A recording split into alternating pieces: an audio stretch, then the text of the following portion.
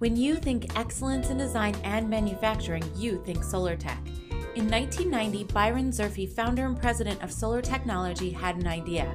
He saw that advanced warning arrow boards in highway construction zones use fuel consuming internal combustion engines to operate, and he knew he could innovate a better product. It was then the Solar Technology brand was born.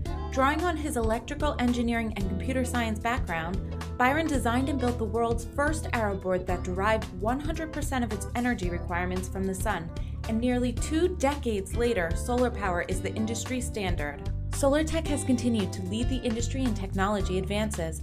They are committed to the mission of innovative product design and providing first class products with the highest quality standards, all with total customer satisfaction. Byron, he wouldn't have it any other way. Visit their website to see their complete product list and information, product support, and customer testimonials, or call their knowledgeable staff today. Let SolarTech help you harness the power of the sun.